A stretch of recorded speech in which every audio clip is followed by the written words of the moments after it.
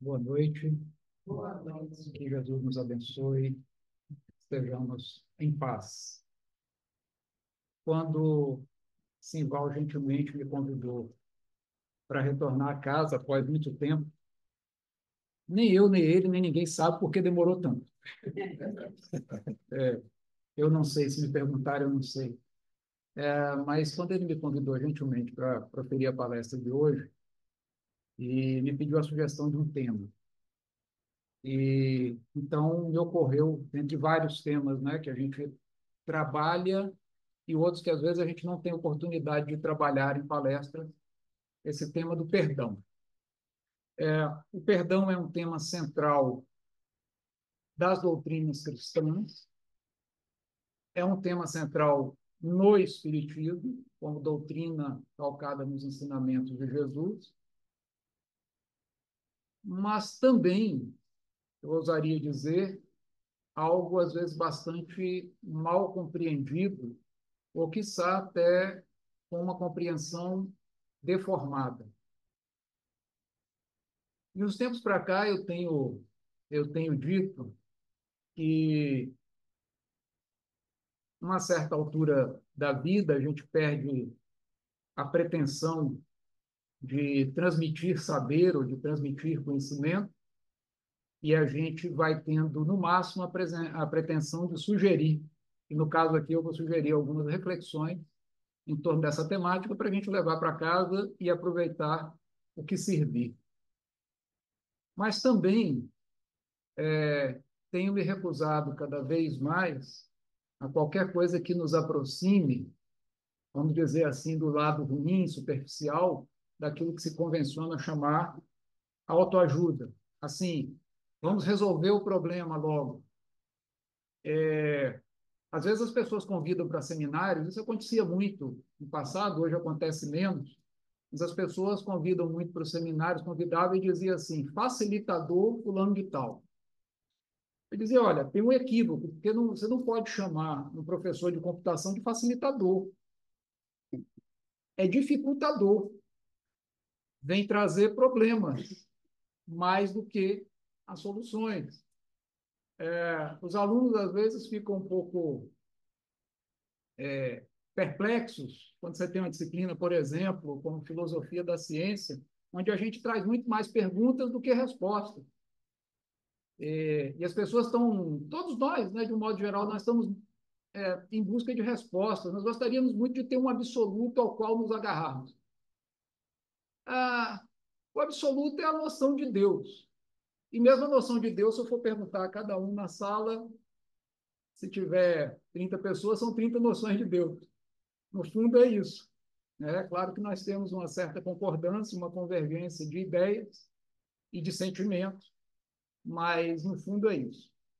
Então, é, isso tudo para dizer que eu vou trazer, de certa forma, uma perspectiva sobre perdão, que eu espero que seja instigante. Eu espero que nos motive a pensar, é, não necessariamente em termos de soluções imediatas. É, a gente não tem como dar aula a ninguém sobre como perdoar. Não tem como. Perdão, a primeira coisa que eu gostaria de, de dizer é o seguinte: perdão não é alguma coisa que se impõe. Eu costumo dizer para as pessoas o seguinte: olha, perdão não é um dever, é um direito. Não tem como impor um perdão. Assim, agora, o que, que acontece? A gente tem ressentimento, a gente tem raiva, a gente está rancoroso, é, a gente até alimenta, quem sabe, até um desejozinho de vingança, assim. Não, mas o espírita não tem desejo de vingança. Aí, você conversando com o espírita, diz: é, misericórdia divina para todos, mas na próxima encarnação ele vai ver. No fundo, no fundo, nós estamos ainda naquela de querer o castigo do vilão. Né? Nós separamos o mundo entre. Meu irmão costuma dizer que todo mundo quer ser mocinho e ninguém quer ser vilão. Então, nós separamos o mundo em mocinhos e vilões e, e, queremos o castigo do vilão. O que não quer dizer que a gente não deva ter o discernimento do bem, do mal, do próprio, do impróprio. Isso é um outro assunto que a gente vai tratar aqui brevemente. Mas então, é, o perdão antes é, é libertação libertação, muito mais do que, do que obrigação. Eu, eu não posso me, me impor, improvisar perdão. Funciona dessa forma. Perdão está ligado a coisas muito complicadas, está ligado à memória, está ligado a traumas, às vezes, muito graves, está é, tá ligado a perdas tremendas que, às vezes, nos foram, é, foram ocasionadas pela ação direta de uma ou outra pessoa. Então, não é assim, a perdoe, muito fácil, da boca para fora. Então, nesse sentido que eu estou dizendo, a gente não pode fazer uma palestra dizendo aqui para as pessoas, não temos que perdoar essa lição. Então, tudo bem, termina a palestra, cinco minutos, vamos embora para casa todo mundo se fosse simples assim. Tá? Então, nós vamos pensar um pouquinho como que é esse perdão. Libertação e o que, que o perdão não é. Porque muitas vezes a gente pensa que o perdão é deixar o mal correr. Tanto na vida privada quanto na esfera pública. E não pode ser isso. Não foi isso que Jesus veio trazer. Eu separei, inclusive, umas passagens do Evangelho segundo o Espiritismo para nos mostrar que não é isso também que o Espiritismo diz. Então, é nesse sentido que me parece não sei se vocês pensam a mesma coisa, mas às vezes me parece que tem uma grande confusão. Ah, vamos perdoar, não vamos julgar. Tá bom, então deixa o mal correr solto. É contraintuitivo, porque na educação dos alunos ou na educação dos filhos, qualquer professora, qualquer professor responsável, qualquer mãe, qualquer pai age de uma maneira diferente. Eu não deixo os estudantes ou os filhos se espalharem nos vícios, no erro, no mal feito, a gente não deixa. E a gente acha isso muito normal, porque, de fato, é, é, é a coisa certa a fazer. É a gente orientar e, em alguns casos, dentro dos meios éticos, eu diria até mesmo dentro dos meios afetuosos, legais, disponíveis, reprimir o mal. Reconduzir o pensamento, a palavra, a ação daquele que está fazendo coisas ruins para si mesmo e para os outros por outras vias. Sempre que tiver ao nosso alcance fazer isso. Então, o filho é irresponsável, gosta de estar tá tirando pedras para lá e para cá. As crianças nem brincam mais de tirar pedras, mas aí quebra a vidraça. Filho, eu te perdoo, mas vai ter algum tipo de sanção. Se não for uma coisa sem querer, se for assim, não, eu delibero porque eu estou brigado lá com dona fulana da casa vizinha, que eu acho muito chato, eu jogo um vidro na vidraça, uma pedra na vidraça dela. É um erro, não pode ser assim. As coisas na vida não podem se resolver dessa maneira, jogando pedra na vidraça do outro, porque a gente não vai com a cara do outro. Eu vou ter que dizer para o meu filho: olha, está perdoado, mas tem uma sanção em, em função desse erro cometido. Eu não posso admitir como pai que você proceda dessa forma. Tá? Por exemplo, se nós estivermos falando dentro do âmbito do que, daquilo que nós convencionamos chamar classe média, às vezes as crianças têm uma mesada. Mesada vai para pagar o vidro. Então eu vou entender que o mal praticado tem um preço e que isso nada tem a ver com o amor do meu pai por mim. Que, aliás, não é a despeito do amor que eu sanciono, é por causa mesmo do amor. É por causa mesmo do amor que eu sanciono de forma que o erro não fique se repetindo. Então, isso é muito sensato. Ah, não julgueis. Tá bom, eu sou professor, então, meu filho, qual é a nota que você quer? Ah, professor, eu quero 10. Eu quero 9,5. Como é que faz? É para passar todo mundo? É, professor, legal, passa todo mundo, passa todo mundo. Então, se eu estiver ensinando, por exemplo, na área de medicina, passa todo mundo. Que tal? Se eu estiver ensinando na área de engenharia civil, Passa todo mundo, que tal? O que, vocês acham? Contabilidade, passa todo mundo. Não vou julgar, já que não é para julgar. Aí eu fico pensando uma promotora de justiça, um promotor de justiça, que se sensibiliza muito com, com é, a, a, situação existencial é, do, dos acusados e está sempre pedindo perdão para acusado. Não libera, porque Jesus falou para não julgar. Quem sou eu na promotoria para poder acusar alguém? É um contrassenso. Porque às vezes você tem ali submetido à, à justiça humana, a, que não é lá tão justa muitas vezes, mas vamos lá, você tem submetido ao rito da justiça humana um indivíduo, por exemplo, que é um, um matador serial, que é um assassino serial, e mais, um assassino serial impenitente, que diz claramente, se me deixarem solto, eu vou matar mais, porque é isso que eu quero fazer, é isso que eu gosto de fazer. Ah, mas já que Jesus falou para não julgar, quem sou eu para colocar essa pessoa em reclusão? Percebe? Então, assim, me desculpe, mas às vezes essa, essa coisa de não vamos julgar, é, precisamos compreender o irmão perdoar e tal, às vezes me parece mais um pretexto para nós nos omitirmos diante daquilo que precisa ser feito. Às vezes na esfera pública e principalmente na esfera privada. Já que eu não posso julgar ninguém, deixo mal corressor. Outras vezes, como me disse um amigo meu, é, ele disse assim: a gente era adolescente, a gente achava ótimo meu pai assim, que ele era totalmente liberal, deixava a gente adolescente viver a vida do jeito que a gente quisesse. E depois que eu amadureci, eu percebi que, na verdade, meu pai queria viver as aventuras dele livremente e, por isso, também ele não importunava os filhos, estabelecendo parâmetros morais.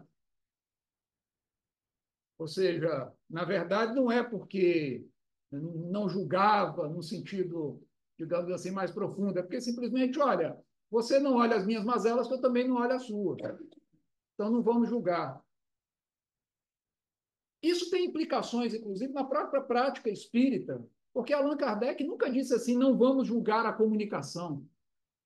Ao contrário, todas as comunicações precisam ser submetidas ao crivo da lógica. A mediunidade precisa ser submetida ao crivo da crítica, crítica na, da forma séria, séria, discernir o que é adequado, o que não é adequado, o que está bom, o que não está bom. E aí a gente não submete à crítica, o que, que acontece? Saem textos psicografados ou frutos de, de uh, como é que se diz, animismo, horrorosos, e isso vai desqualificar perante as pessoas que não são espíritas a própria ideia do que é espiritismo. Ah, esse texto horroroso que os espíritos fazem, para que, que eu vou querer negócio de espiritismo? Tá? Não faz sentido nenhum. Então, assim, é, Aí é a mesma coisa, não podemos julgar. Não, tem que julgar sim. Se uma pessoa está pondo em, em, em, risco o equilíbrio de um trabalho mediúnico com uma conduta imprópria, é, eu preciso conversar com a pessoa. Se a pessoa não quer mudar, eu preciso levar para o conselho. Se não mudar de jeito nenhum, às vezes precisa ir para a Assembleia, assim está lá no Evangelho. Você não vai sair divulgando as mazelas de ninguém à torta direita. A esse respeito, eu acho que já vale a pena a gente consultar o Evangelho segundo o Espiritismo. Capítulo 10 diz: Bem-aventurados os misericordiosos. Daqui a pouco eu digo o que quer dizer isso, bem-aventurados os misericordiosos. Mas vamos lá. Item 19 do capítulo 10. Como ninguém é perfeito, segue-se que ninguém tem o direito de repreender o próximo. Aí a resposta de São Luís, atribuída aqui a São Luís, é um espírito que trabalha em nome dele. Certamente que não é essa a conclusão a tirar-se, pois cada um de vós deve trabalhar pelo progresso de todos e, sobretudo, daqueles cuja tutela vos foi confiada, filhos, estudantes. Mas, por isso mesmo, deveis fazê-lo com moderação, por um fim útil e não pelo prazer de desqualificar, como acontece na maioria das vezes. Não vai revelar o problema de alguém, a mazela de alguém, ou tratar disso com a pessoa a fim de desqualificá-la, de humilhá-la, não é esse o objetivo. Bom, nesse último caso, a repreensão a maldade. No primeiro, zelar pelo progresso de todos, no caso, é um dever que a caridade manda cumprir com todo cuidado. É um dever. A repreensão dos erros alheios, frequentemente, é um dever. Isso está no item 19. A censura que alguém faça a outrem deve também ser dirigida a si próprio, procurando saber se não a terá merecido. Ótimo. O que São Luís está dizendo aqui de uma maneira muito sintética e muito simples, direta, é que nós devemos julgar os outros pelos parâmetros que nós é, nos julgaríamos a nós próprios. Não é julgar os outros com mais severidade. É aquela psicologia de Jesus, que às vezes a gente enxerga no olho do outro o cisco, mas não enxerga a trave atravessada no próprio olho. É a psicologia de Jesus. Muita gente pensa que Jesus foi um, moralista qualquer que andou aí ditando regras sobre como a gente viver, não. O único título que Jesus a, a, a, adotou e aceitou para si foi mestre. Mestre quer dizer aquele que, de fato, numa determinada arte, qual é a arte de Jesus? A arte do amor, a arte é, da moral, a, moral no sentido de, de, de conduta virtuosa, a virtude. Essa é a arte de Jesus. Então, o mestre é aquele que, por ter galgado determinados degraus, por ter atingido um determinado patamar, está apto a nos ensinar algo, a nos trazer alguma novidade, a também nos levantar para um outro patamar. Foi isso aí que Jesus veio fazer, não foi ficar ditando regra é, mesquinha sobre os detalhes de como nós precisamos viver. Então, na sua psicologia profunda, o que Jesus vai nos dizer é o seguinte: ó, é, para de julgar os outros com uma severidade demasiada quando você não traz para si próprio. Para de utilizar determinados padrões para falar e avaliar a vida alheia que você não usa para avaliar a sua própria vida, a sua própria conduta, sua própria forma de pensar, inclusive. Só isso. Mas não quer dizer deixar correr solto. Aí, aqui no item 21, diz assim: haverá casos em que seja útil revelar o mal alheio. Aqui a gente está no fim do capítulo. O capítulo inteiro é dizendo: bem-aventurados os misericordiosos. Tá? Mas aqui no item 21, haverá casos em que seja útil revelar o mal alheio? Resposta, é, de novo, São Luís. Esta questão é muito delicada e aqui se deve fazer um apelo à caridade bem compreendida. Da mesma forma que o perdão precisa ser bem compreendido, a caridade, que engloba o perdão, é, é, é mais coisa do que o perdão, o perdão é uma forma bem especial de caridade, caridade precisa ser bem compreendida. Tá? Se as imperfeições de uma pessoa só prejudicam ela mesma, não há nenhuma utilidade em divulgá-la. Isso é básico. A gente pode até, se a pessoa quiser nos ouvir e se tiver ao nosso alcance falar, conversar com ela.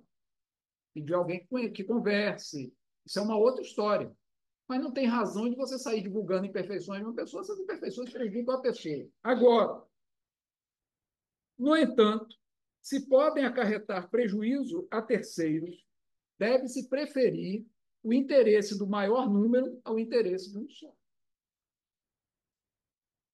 Segundo as circunstâncias, presta atenção como isso é forte. Eu tenho a impressão que às vezes a gente lê as obras de Kardec seletivamente. Essa parte eu não quero ver, não, porque vai me dar muito trabalho. Né?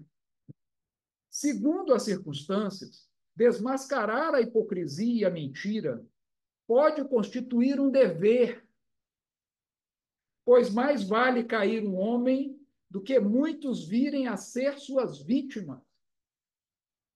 Presta atenção. Segundo as circunstâncias, desmascarar a hipocrisia, a hipocrisia, a mentira, pode se constituir um dever, por mais vale cair um homem do que muitos virem a ser suas vítimas. Em tal caso, deve-se pensar a soma das vantagens e dos inconvenientes. Então, o primeiro ponto, que o perdão não é. O perdão não é essa conivência com o mal. O perdão não é a mancomunação com os maus. O perdão não é deixar correr solto o mal feito, o vício. Isso não é perdão. Isso é conivência. Isso é, no, pior dos casos, cumplicidade. Existe a cumplicidade por ação, existe a cumplicidade por omissão. E nós precisamos estar atentos a isso.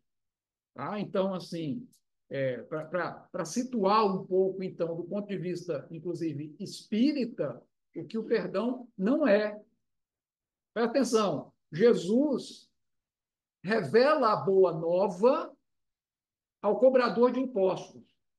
Gente, o cobrador de impostos na época de Jesus, ali naquele, é, naquele meio onde ele se situa, onde as parábolas e, e as, as histórias da vida de Jesus estão situadas, o cobrador de impostos era uma posição muito indigna. Porque, assim, existia uma dominação política e militar dos romanos naquele setor do mundo, ali especificamente sobre o povo judeu. E o cobrador de impostos era um judeu que cobrava imposto dos concidadãos judeus para passar para a mão do dominador. É de uma indignidade horrorosa essa situação. Você está cobrando imposto para o colonizador, tá? para quem ele subjuga militarmente. Então, mas Jesus revela a boa nova. Foi quem Nicodemos, não é isso? Na parábola, que, que, que lá no, no alto de um, de um muro ou de uma árvore, porque ele era pequenino, segundo a parábola, não conseguia ver Jesus. Aí ele diz, é Zaqueu, né? Zaqueu. Aí diz assim, é, se eu prejudiquei alguém, eu indenizo em quatro tantos. Quer dizer, ele tem uma epifania, ele tem uma.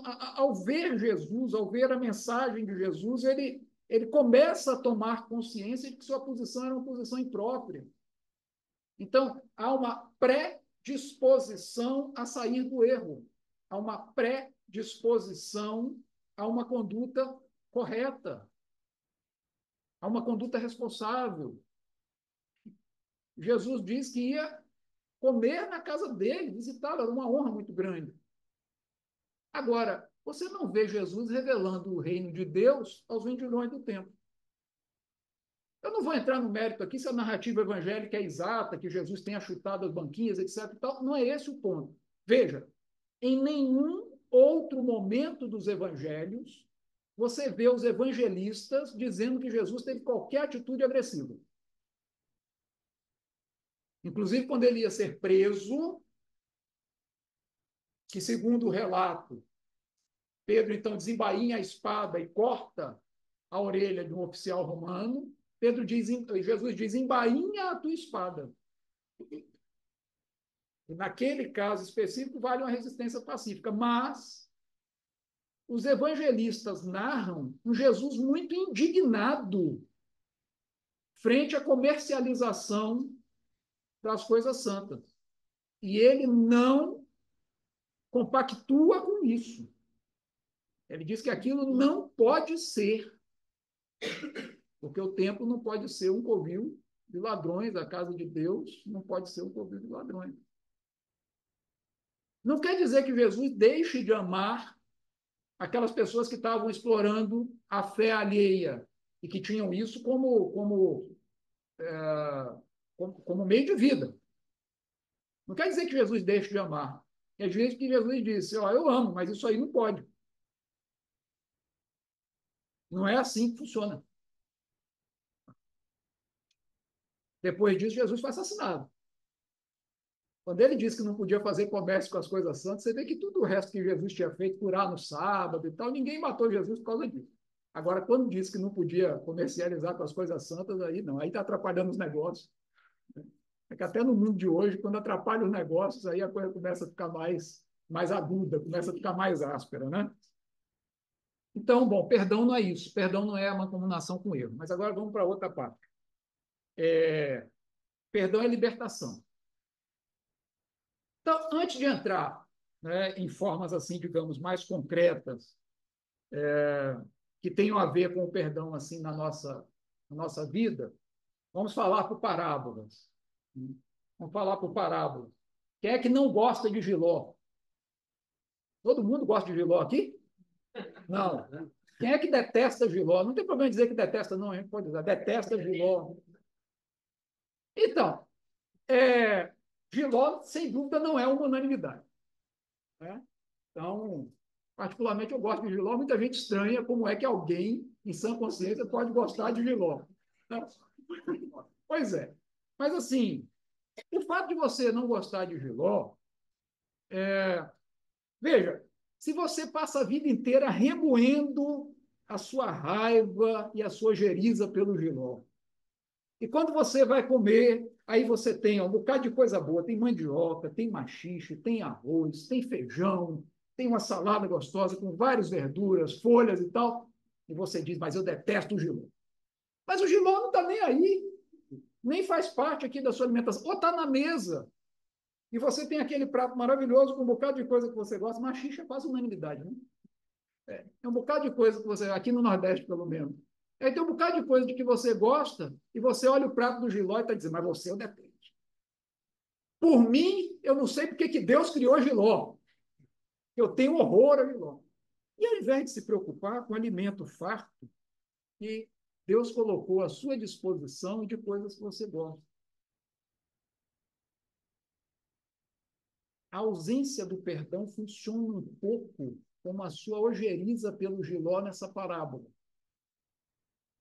A vida vai tentando abrir caminhos e nós vamos nos agarrando a uma pessoa, a determinadas pessoas que, em algum momento da vida, foram a causa do mal que nos atingiu. O danado do Giló. Eu detesto. Não posso nem ouvir falar. Então, a ausência do perdão faz com que nós caminhemos à semelhança daqueles prisioneiros de filme americano dos anos 30, 40, 50, que ficavam com uma bola de ferro enorme amarrada ao tornozelo por uma corrente. Porque a gente tenta caminhar e a bola de ferro não deixa. De novo, não vim aqui pontificar da aula sobre como perdoar. Dicas sobre como a ausência de perdão nos prejudica. O que, que ela significa. E quem sabe alguma dica com base na doutrina espírita, no que a gente observa, no bom senso, de como nós podemos nos libertar por intermédio do perdão. Vou abrir um parêntese para dizer que, em alguns anos de prática mediúnica, o que a gente observa na maior parte dos casos, de um sofrimento muito intenso do espírito, inclusive do sofrimento moral muito intenso e muito profundo daqueles espíritos que se dizem obsessores e que às vezes estão muito concentrados no mal e até em fazer o mal, corresponde essa situação existencial a um aprisionamento em uma circunstância em um determinado tempo. Esse tempo pode ser 50 anos atrás, 200 anos atrás, 500 anos atrás, mil anos atrás. E para o espírito o tempo é muito relativo. Quando nós mantemos a mente fixada em um objeto, em uma circunstância, em um fato, em uma pessoa, é ali que espiritualmente nós estaremos. Então, o não perdoar significa manter-se preso a uma circunstância maléfica, manter-se preso a uma situação que alguém nos criou, manter-se preso ao mal que foi praticado contra nós. Não perdoar no sentido mais grave significa nós queremos desforra, vingança contra aquela pessoa que nos fez o mal. E eu vou dizer para vocês o seguinte: o desejo de vingança não é uma aberração na nossa história de seres humanos na Terra.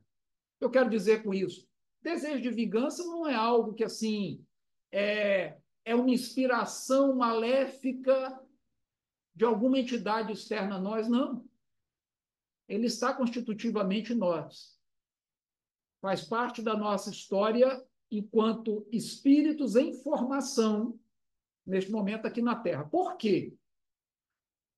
Porque quando a vida é muito áspera, quando a vida é muito espinhosa, quando nós precisamos lutar com as mãos, com pedras, com tacapes, com lanças, com arco e flecha, com fuzis, com revólveres, com metralhadoras, pela sobrevivência no dia a dia, aquele que nos faz mal hoje é uma ameaça de um mal que prosseguirá amanhã. Então, nesses casos, por exemplo, daquelas cismas entre famílias que passam séculos se matando entre elas, umas contra as outras, ou uma contra a outra, isso é uma espécie de tentativa de prevenir que o outro possa me destruir.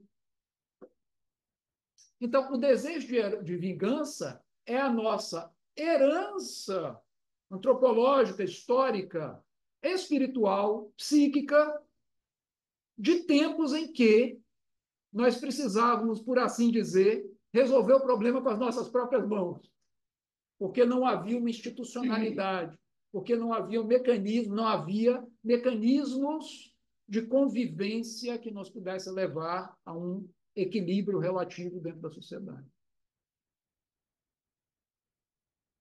Mas nós precisamos nos desfazer, nos despojar desses resíduos do psiquismo decorrentes de situações que em outras épocas ou de atitudes existenciais que em outras épocas tinham a sua razão de ser, mas que hoje não podem mais ter a sua razão de ser.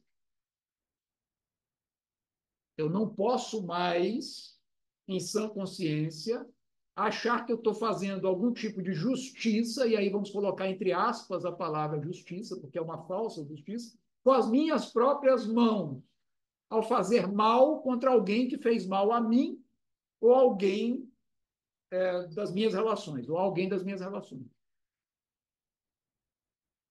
Eu comecei a conviver de uma forma diferente com uma pessoa do meu conhecimento, quando essa pessoa me disse assim: se alguém fizer mal à minha família, vai ter que pagar com dor. Quando, minha pessoa, quando a pessoa me disse isso, eu disse: olha,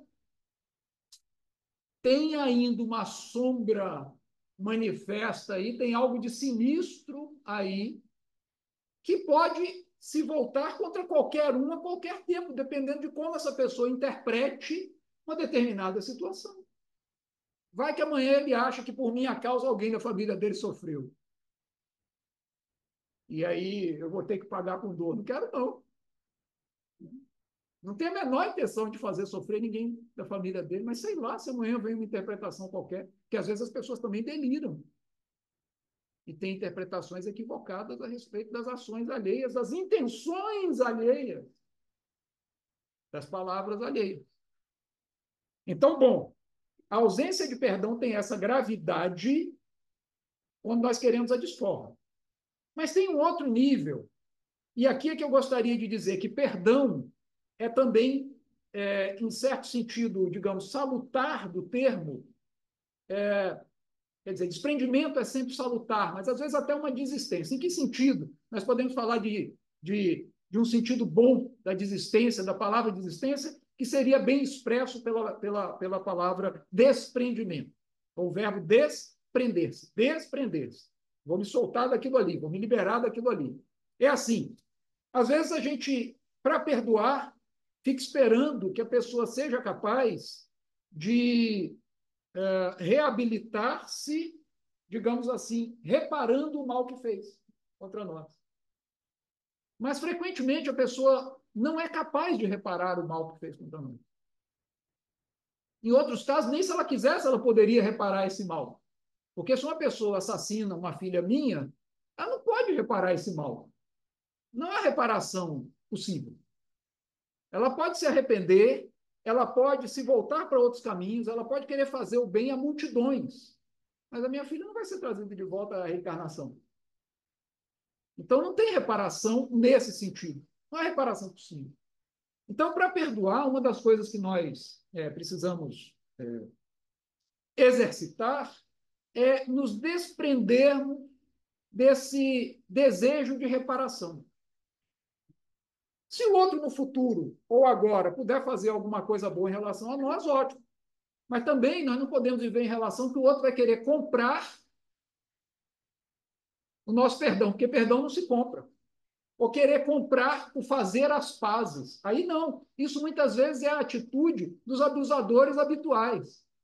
O abusador tem muito esse negócio de pede desculpa, vem com um bocado de presente, faz alguma coisa boa.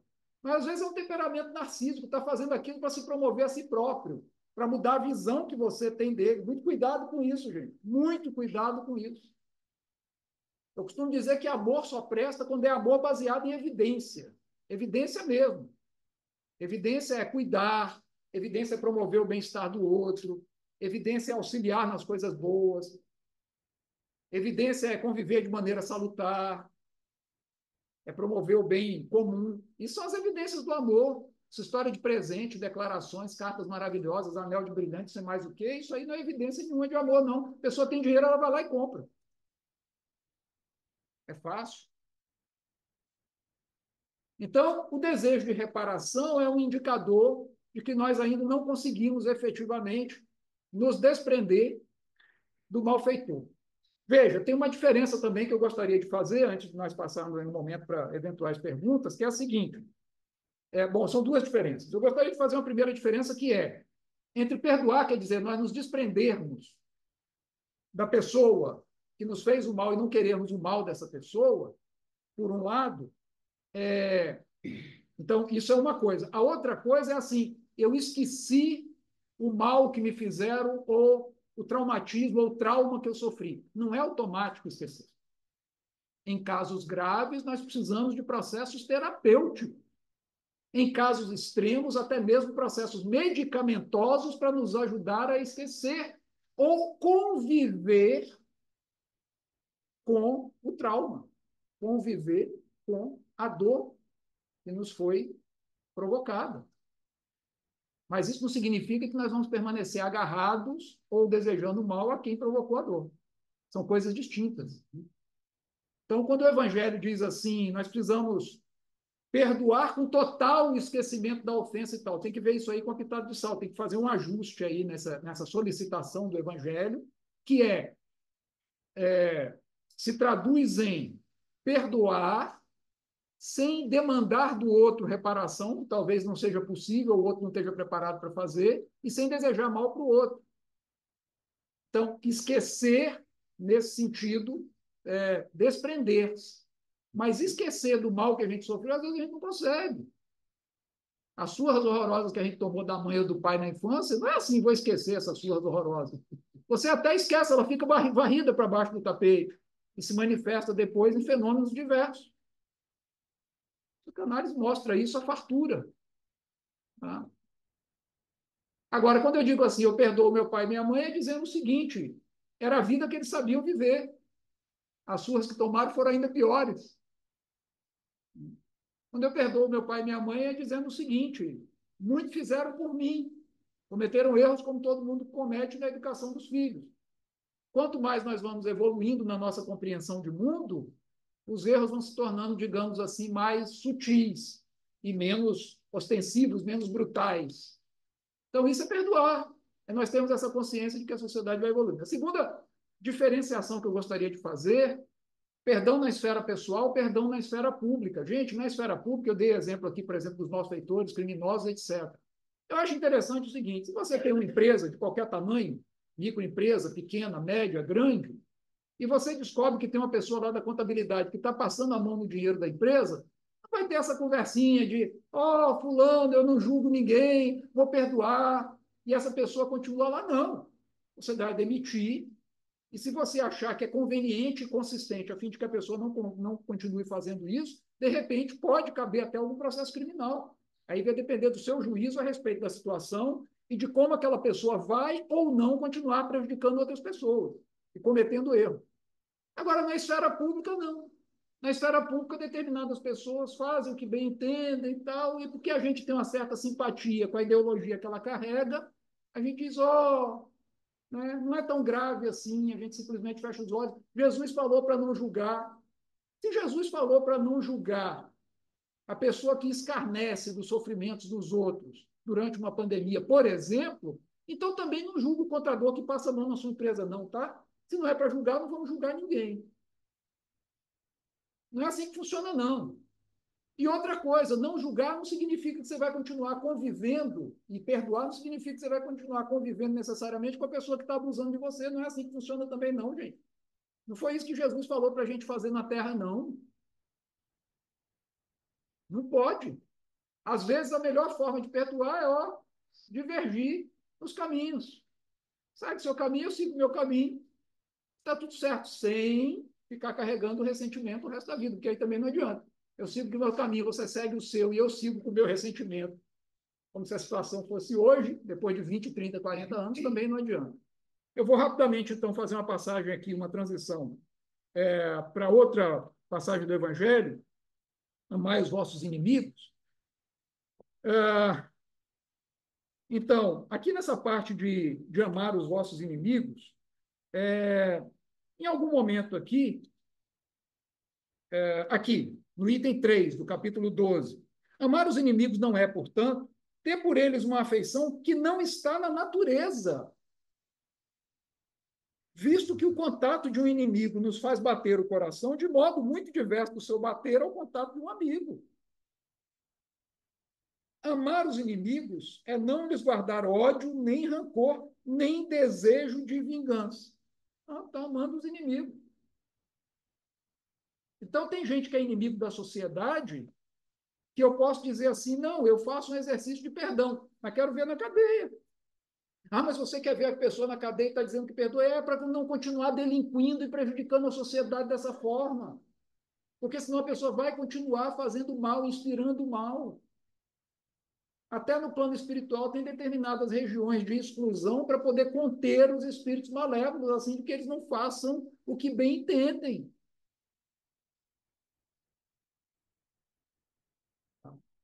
Então, não, não significa né, que nós vamos amar o inimigo e os inimigos do bem da mesma forma que nós amamos um amigo.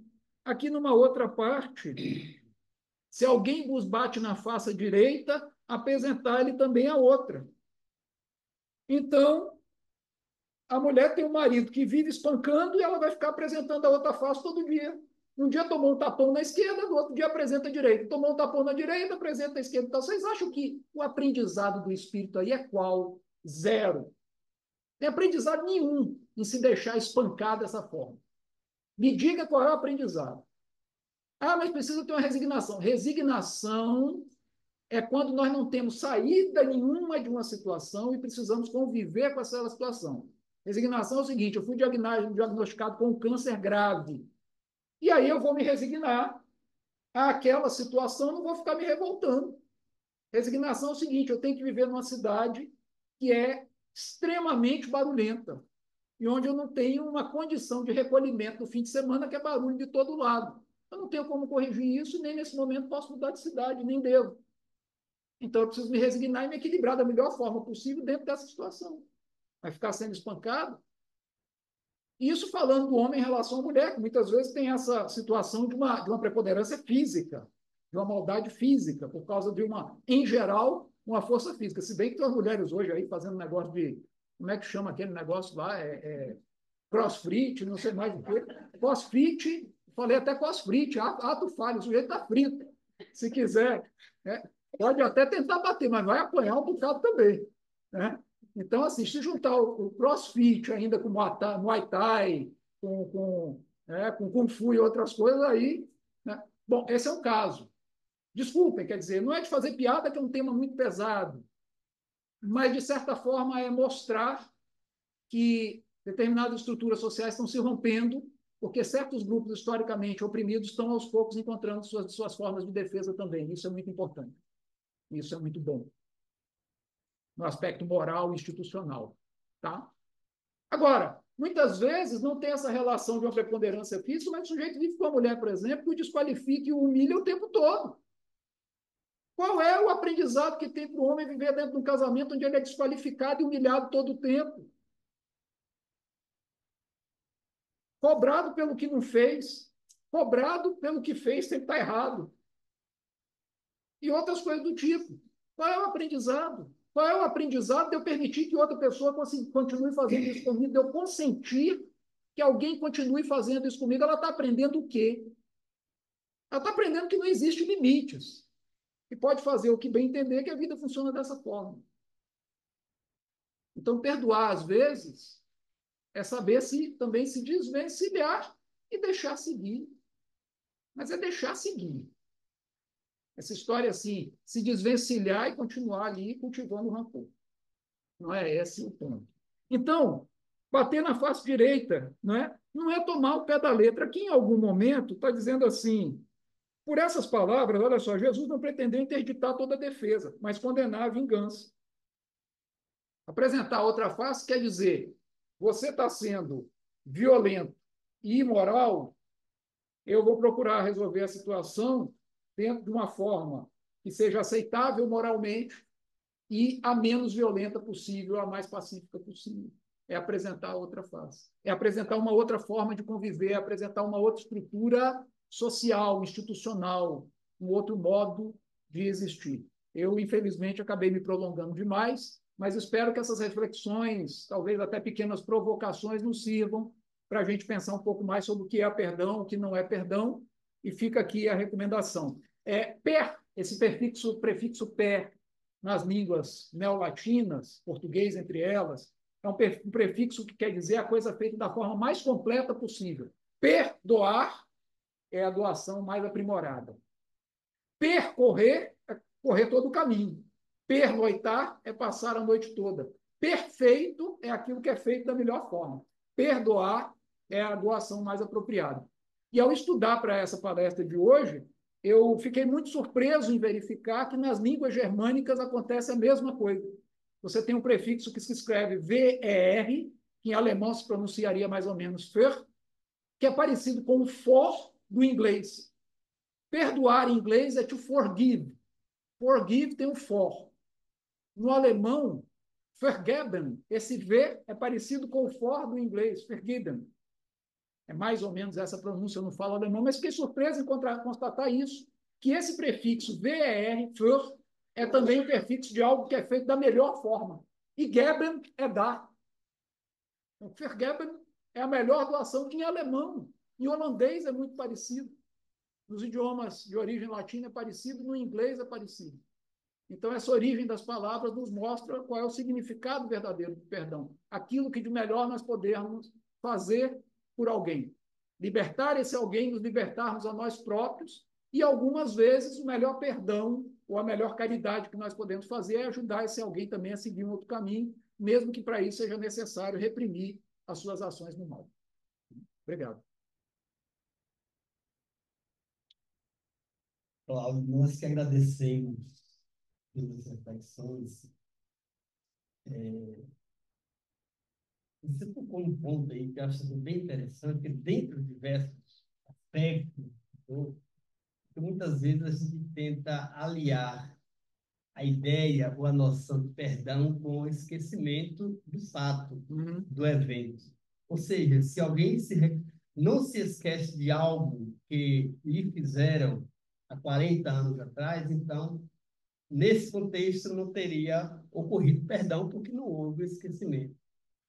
O que é algo, como você disse, bem distinto, né? Esquecer ou não esquecer é uma questão mnemônica, de memória. É, é, é, esquecer ou não esquecer é um fenômeno fisiológico, esquecer ou não esquecer é um fenômeno psicológico. Isso.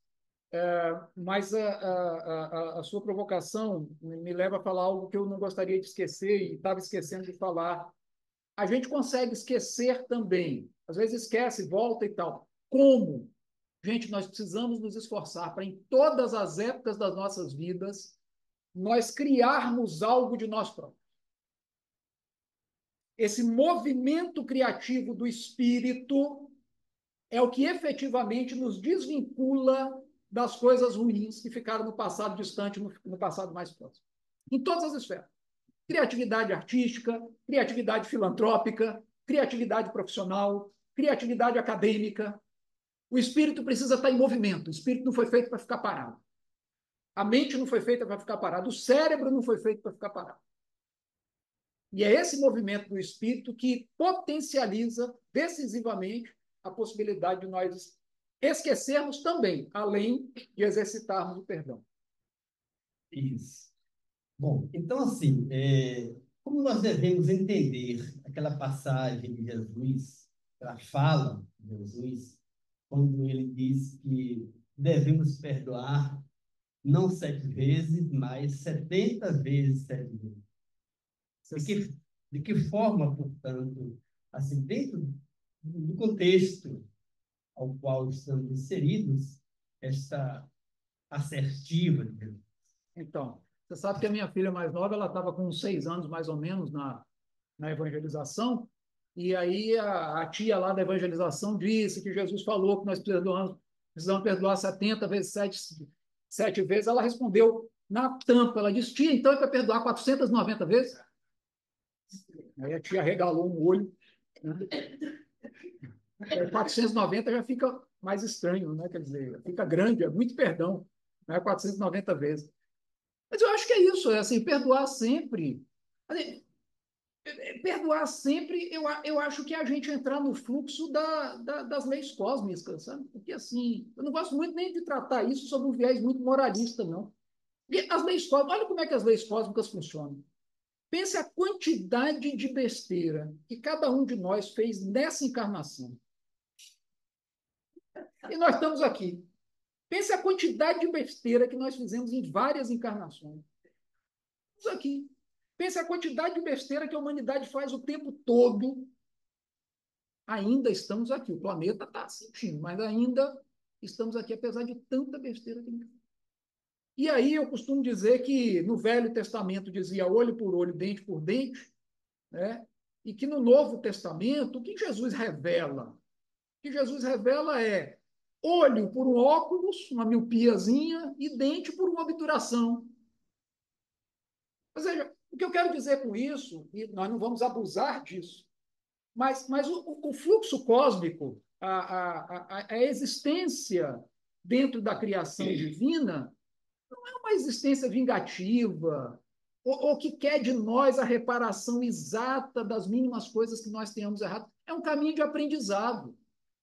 Agora, o que a nossa consciência não perdoa é o erro cometido por deliberação.